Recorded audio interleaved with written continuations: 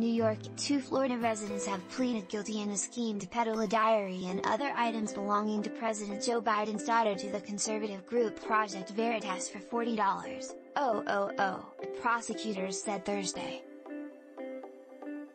Aimee Harris and Robert Kurlander pleaded guilty to conspiracy to commit interstate transportation of stolen property, Manhattan U.S. Attorney Damian Williams' office said.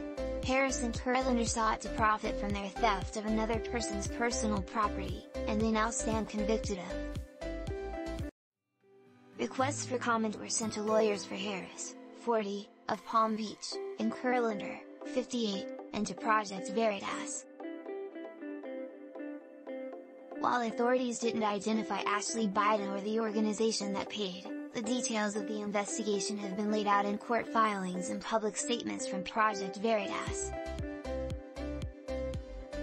Ashley Biden was moving out of the Friends Delray Beach, Florida, home in spring 2020 when she stored the diary, tax records, a digital device with family photos, a cell phone and other items there, prosecutors said in a court filing.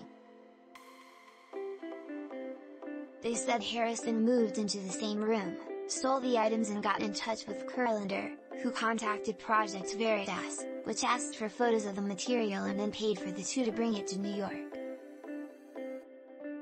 They said the woman stole the items and got in touch with the other defendant, a man who contacted Project Veritas, which asked for photos of the material and then paid for the two to bring it to New York. Project Veritas staffers met with the two in New York and dispatched them back to Florida to retrieve more of Ashley Biden's items from the home, which they did and turned the material over to a local Project Veritas worker who brought it to New York, prosecutors said.